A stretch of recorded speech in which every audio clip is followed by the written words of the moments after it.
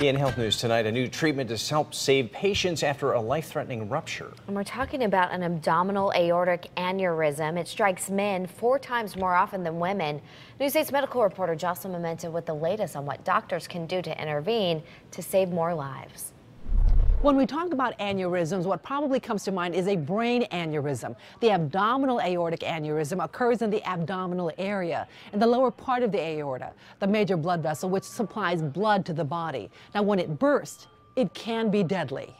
Carl Marsden is getting a good look at. Mr. Marsden, this is your aneurysm here. His abdominal aortic aneurysm. He was at a high risk of rupture because his was around uh, above six centimeters, which is about the, the size of a coffee mug, the base of a coffee mug. That was before vascular surgeon Dr. Jeff Indes operated on him at Yale New Haven Hospital. It's a weakening in the wall of the artery, and uh, as a result of that weakening, the artery bulges out and causes what's called an aneurysm that can actually rupture. Basically, it was get this thing straight because this is a five minute bleed out.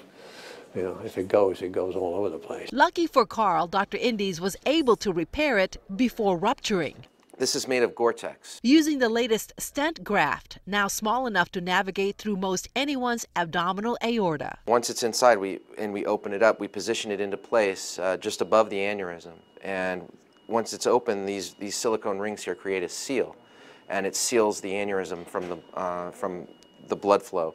Uh, so it essentially prevents it from rupturing. And once you depressurize the aneurysm, the aneurysm actually shrinks. That's exactly what is happening to Carl's aneurysm. Something must be taking place because the body is much more comfortable. The biggest benefit of this actual procedure is that we are able to treat 40% more patients that we were previously unable to treat due to their anatomy. Patients like Carl also avoid open surgery, a procedure with a higher risk. First of all, I never knew it was there, and neither did anyone else until they took a picture of something else. Carl's lighthearted outlook. You take a picture of the junkyard, you're going to find a lot of rusty parts. That's what happened. Helps get him through the unexpected.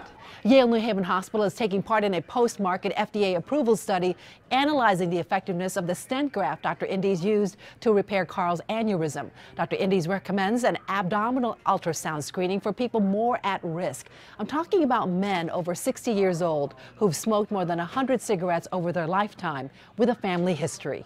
Jocelyn Maminta, News 8.